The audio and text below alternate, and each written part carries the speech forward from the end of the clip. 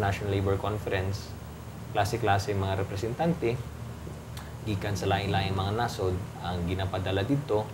So na ay mga representatives gikan sa government, na ay representatives gikan sa workers group, ug na po mga representatives gikan sa uh, employers group.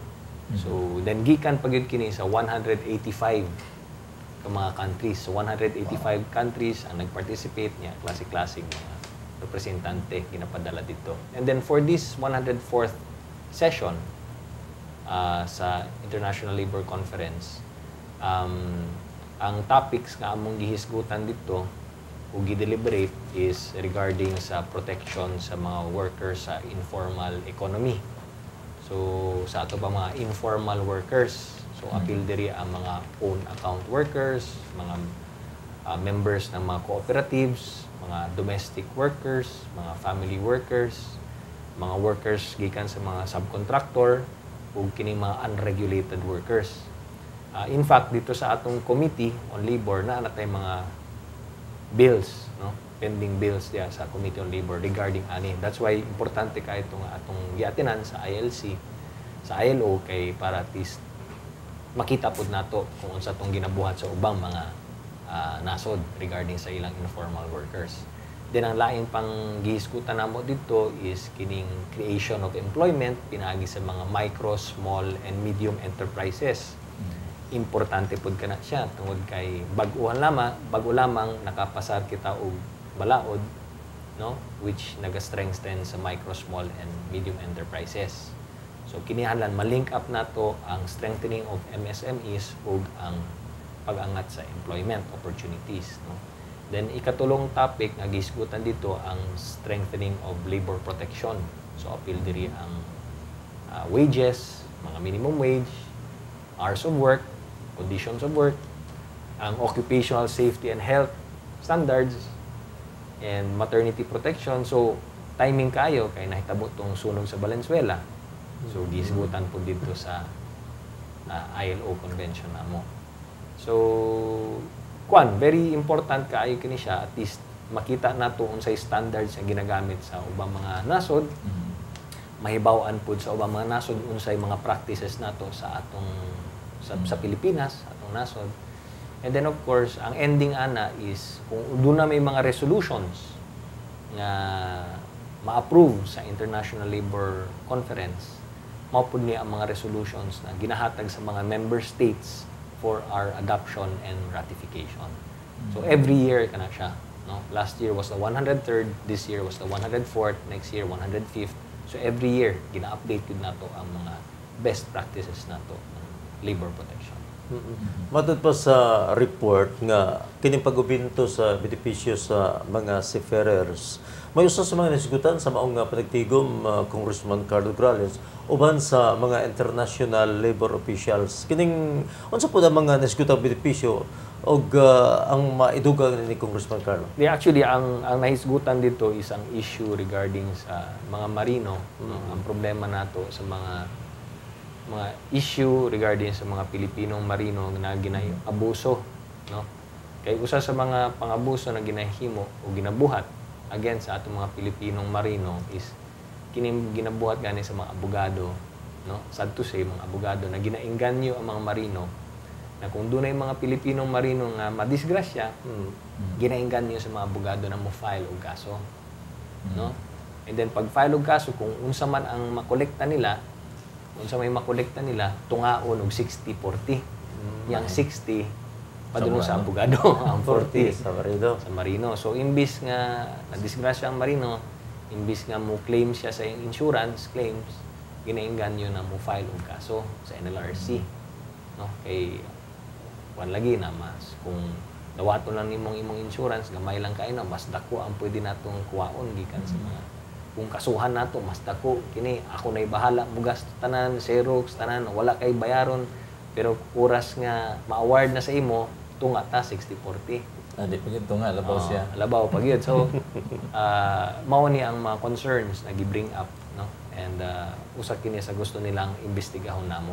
So, naminaw lang sad ta sa, sa kasulti nila and then of course usa ka na sa atong imbestigahan balik sa Congress. Okay. Congressman, naisgutan na ito kaganina, no, pagsugod sa itong programa, ang katong nahitabong sunog sa Kentex Factory dito sa Valenzuela City. Ang akong panguntahan na kung ipadayon pa ba ni Congressman Nogales ang iyang investigasyon sa iyang ah, dito sa katong mga hearing no, sa iyang investigasyon. Palagay ko, uh, kinihanlan na itong ipadayon ka na, Raf, because um, kung makinomdom mo, during the first hearing, wala makasipot ang mga tagiya sa Kentex. Kentex, di ba? So, wala silang manipot. Ah, ang usa lamang sa mga miyembro sa ilang board of directors, nagpadala og abogado. Pero ang ubang mga board of directors, ang ubang mga shareholders, ang mga tagiya sa Kentex, wala silang makasipot. And then at the same time, bisan to mga mga paryente sa mga biktima, ah, wala po sila makasipot because during that time na nag-hearing ta, mapud to ang schedule sa paghatag og ayuda mga hinabang gikan sa Valenzuela City. So na timing sad na sabay dito so wala sila makatambong sa atong hearing. So sa ato pa wala pa maka-face off ang owners sa Kentex ug ang mga relatives sa mga biktima or bisan pa man itong mga biktima nga buhi pa. Tuloy pa. That's why ah, hilaw pa kayo ang among hearing. That's why kinihanlan na pagpadayon mi. Ang problema lamang is because nakabalita naman ta na nag-file na og mga kaso, no? Ah, although under investigation level, investigation stage pa siya. That's why samtang naa pa siya sa investigation stage, pwede pa ta magpatawag og hearing. Pero kung absent ta and then ma ma-submit na na sa, sa korte, then basig mahulog na ni sa sub judice rule. Kay kung naano na siya sa korte, bawal na namong hisgutan ka na. No? Because baka maka-apekto sa judgment sa court. So that's why na sub judice rule. So, in the meantime, na wala pa siya diha, pwede. But naka-recess man mi karon, ka-adjourn man mi. So, wala ta nato nang balik kita sa Congress, Mm. and then kung wala pa siya maadto sa korte, then pwede pa ta magpatawag. Pero kung na-file na sa court ang case, ah, I don't think na makapatawag na may og second hearing para ani. Okay. Nagkadako ang panawagan, Congressman, no, sa katong nga kinahanglan na daw maaprubahan ang mga sa House Committee on Labor, no, kining mga bills o balaod nun nga naghatag og dugang protection aron ma luwas no ang mga trabahante dito sa ilang mga trabahoan congressman. Ang imong reaction? Yes, that's why ah, sama sa akong giingon na bisan pa man naka-break mo eh, naka-adjourn mi, magpatawag kog technical working group para i-consolidate namo, usahon na lang namo ang um, bill criminalizing ang violation sa occupational safety and health standards. So right now na pending nga unom ka mga balaod nun na usahon namo usahon na lang and mao ni ang among buhaton karong June 24. okay Isip nga chairman sa House Committee on uh, Labor Congressman Carlos Corrales, kining unsa pud ang plano sa imong komitiba nining ulahing uh, tuig sa 16th Congress? Ang i-prioritize nako Zalz is kato ba nga na, nahiringan na namo pero tungod kay um, kinihanan pa namo i-consolidate because lain-laing version uh, gi-refer na ako sa technical working group. So mao ni ang i-prioritize nako kailangan na kayo sa oras. So ang mga nabilin diri nga napasa na ako sa technical working group nga among i-prioritize is kining occupational safety and health no itong gisulti nako kining anti-age discrimination no kining ah, anti-discrimination in employment ah, kining ah, Magna Carta for the BPO workers or kining mga call center agents ah, kining ah, li- ah, libre na or waiver of fees para sa mga indigent patients na gusto ma, indi- indigent constituents na gusto magtrabaho ug bisan ka mga fresh graduates. So kining tanan naka technical working group ah, kini siya and katong informal workers no. Ah, so mao ni ang akong unahon tapos na sa nako ni kay nahiringan na namo and makonsolidate namo ni na natay six new laws na pwede natong ah, i-report gikan sa among committee. Then unahon ako ni before ang uban pa mga nakapending dito sa among committee. Okay, Rafa, tuta sa mga pangutana day Congressman Carlos Corrales sa mga katauhan sa mga atong mga kabarangay diri sa Davao. Doon na mo balita nga naaprubahan na daw sa House ang bill nga maghatag og libreng wifi sa tanan. Apil ba daw ang siyudad sa Davao nga makabenepisyo sa maong ah, plano kung Yes, ano? tibok nasod, in Ah, fact. tibok. So, pasado na sa House of Representatives, ang kulang na lamang isang Senado, and kung mahuman na ang Senado, ani, pirmahan ni Presidente, then mahimo na siyang balaod. Balaod. So, ang kuan ani, ang nakabutang diri is, ang tanang mga public buildings? Tanang mga parks, plazas, transportation terminals, ah, maghatag og libreng wifi. Mhm. no? Pero limited ni sa mga national buildings Mhm. no? Ah, state universities and colleges um kini mga public transportation terminals public hospitals. So kung kining diri sa mga kining mga struktura dapat maghatag sila og libreng wifi. No so within two years after the effectivity of the law kung gusto kag libreng wifi adto lang kag Adto lang public market, adto kag public park, adto kag uh, USEP, adto kag UP, adto ka og uh, SPMC kay public hospital, maghatag na, na sila. Ang mag-implement ani ang DOST. But again, no, ah, pasado lang sa House, di, dili pa siya balaod kay wala pa ang Senate, wala pa pirma ni presidente. Orang di naman ginato kapuggan na irap, uh, Congressman Carlo Grales, dapat ay mga pangutana. Pero ambot lang ka, kung nagkistoryahan na iba mo ni kanhi Mayor Indesar, kay imo mang gipakita kita suporta lagi kadto ka Mayor Rodi Duterte pagka-presidente. Tungot na nagkatawhan, kung ando na ba mo managsabot-sabot o kistoryahan na bagid mo ni Inday Sara? Ah, well, pasalamat po ko kay ah, Mayor Inday sa iyang pagpasalamat. Ah, actually, wala pa gid mi formal nga nagka-istorya. Ah, but ah, my line is always open. I'm just a phone call or text away. So, wala pa formal yun, but ah, pasalamat ko ah, sa iyang pagpasalamat sa so, salamat. At least mga mensahe para sa katawhan. Ah yes, oh, of course, uh, padayon lang gyapon ang atong ah, trabaho diri sa atong distrito. Ah, pasalamat ko sa kanilang suporta bisan pa man na-adjourn kami sa kongreso. ah, kailang focus lang gyapon ta dinhi sa atong pagserbisyo sa katawhang Dabawinyo hilabin na sa first district ah, diri sa atong siyudad sa Davao. So mag-concentrate na lang ta sa atong district works samtang naka-adjourn mi and uh, sa pagpaabot namo sa pagbalik sa among third regular session sa Congress. So napatay mga daghang mga projects na coming ug ang atong next job fair and medical mission sa June uh, 27 katangin ninyo. So daghang kayong salamat ug syempre pa sa akong asawa nga si Marga ug sa akong mga anak Mateo, Massimo ug Nika kay tanan daghang kayong salamat ug may adlaw. Okay, daghang kayong salamat Congressman Carlo Nograles. O sa susunod na pasalamatan si BJ Salongga no, sa Decorative Subayjana and Herbs. Si Tricia ah, bukbok no sa nga nagtabang guys kanato siyempre sa atong director kay Ching Amor.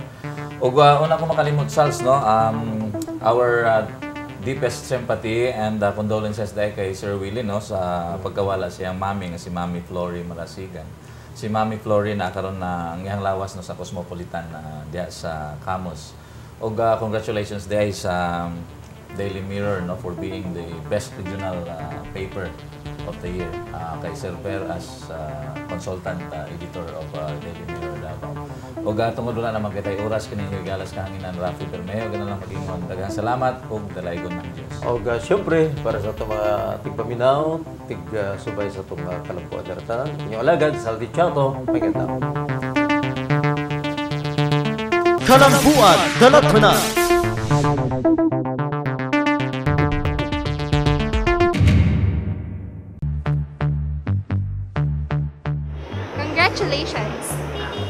Congratulations! Congratulations! Outstanding! Outstanding! Filipino achiever! In public service, Congressman Carlo Nograles.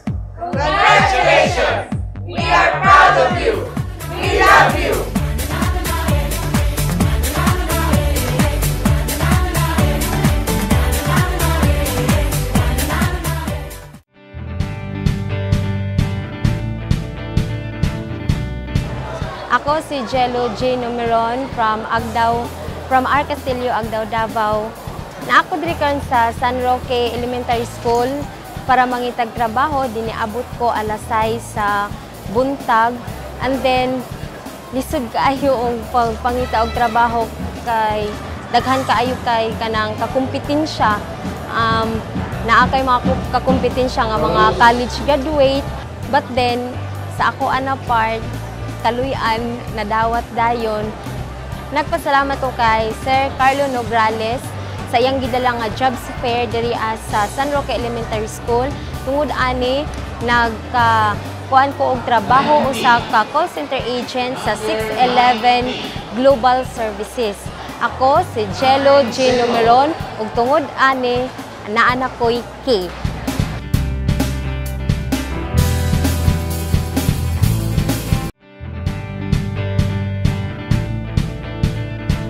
I'm Nina Gonzalez at nandito ako sa San Roque Central Elementary School para maghanap ng trabaho.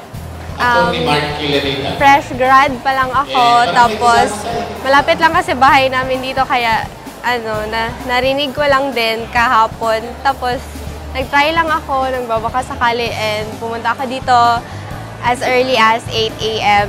And okay naman ang flow nila sa job fair and I am seeking my first job, of course, and I think ito yung ano, beginning for my career. Thank you kay Congressman Carlo Nograles sa dinala niya na jobs fair dito sa San Roque. And ngayon, hired na ako ng Adana Manpower Services. I am Nina Gonzalez at karon na anak ko'y Kate.